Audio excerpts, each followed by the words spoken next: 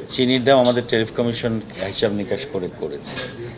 এখন একটা বড় সমস্যা হচ্ছে যে, আমরা বাজারে খুব বেশি চাপ দিলে বাজার থেকে সরে যায়। এখন আমরা একটা একটা, আমরা আমরা মাঝামাঝি যাই একটা ডিলেমার মধ্যে পড়ে যাই। আমরা তো একটা প্রাইস ফিক্স করে দিয়েছি কনসিডারিং যে গ্লোবাল মার্কেটে গ্লোবাল মার্কেটে গত পনেরো বিশ দিনের মধ্যে বোধহয় প্রায় পঞ্চল্লিশ পঞ্চাশ ডলার করে বেড়ে গেছে চিনির দাম। ফোর ফোর কত ছিল? ফোর হান্ড্রেড এইটিন এখন ফাইভ হান্ড্রেড কত হয়ে গেছে? এখন ছয়শো চলে গেছে। ছয়শত চলে গেছে। সো কম। আমাদের তো আপনারা জানেন যে আমাদের অলমোস্ট নাইনটি ফাইভ পার্সেন্ট বা ninety seven percent 9% ninety nine পার্সেন্টই চিনি আমাদের ইম্পোর্ট করতে হয়। তো সেটা আমাদের নট ইভেন ওয়ান পার্সেন্ট তো এই সব কারণে আমাদের ডিপেন্ডেন্সি তো চিনির উপর মানে বিদেশের উপরে। আর গ্লোবালি দাম বাড়লে পরে, তো সেটা তো আমাদের এখানে প্রভাব পড়ে। তবে কখনো কখনো কিছু অসৎ ব্যবসায়ীরা সুযোগ নেয় এই এইটা করে। তবে সব ক্যালকুলেশন করেই আমাদের টাইপ সেটা আমরা একটা ফিক্স আপ করে দিয়েছি। এটাও ঠিক যে যেটা ফিক্স আপ করা হয়েছে বটে, বাজারে তার সেটা এখনও সেটা আসে নাই, তার চেয়ে বরঞ্চ বেশি দামেই বিক্রি হচ্ছে। তো আমরা দেখছি তাদের অবস্থান কোথায় দাঁড়ায়, নাহলে আমরা আবার শক্ত অবস্থানে যাব। কিন্তু ওই আরেকটা দিক হলো হঠাৎ করে চিনি যদি নেতার থেকে হাওয়া হয়ে যায়, উধাও হয়ে যায়, সেটাও একটা সমস্যা।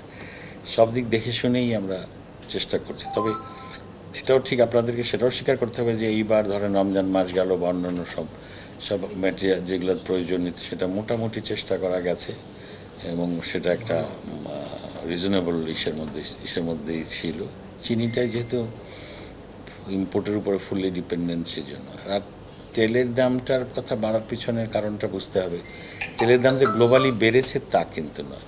কিন্তু থার্টি ফার্স্ট থার্টিথ এপ্রিল পর্যন্ত ভ্যাটটা আমাদের উইথড্র করা ছিল। সেটা শেষ হয়ে যাওয়ার কারণে নতুন করে ভ্যাট আবার চলে আসছে সেই দাম, সেই টাকাটাই বাড়ানো হয়েছে। গ্লোবাল মার্কেটে বাড়েনি, কিন্তু ভ্যাট আবার ইম্পোজ হওয়ার জন্য রি ইম্পোজ হওয়ার ফলে সেটার দামটার পুরো প্রভাব পড়েছে। এটি হলো তেলের কারণ বাড়ার কারণ।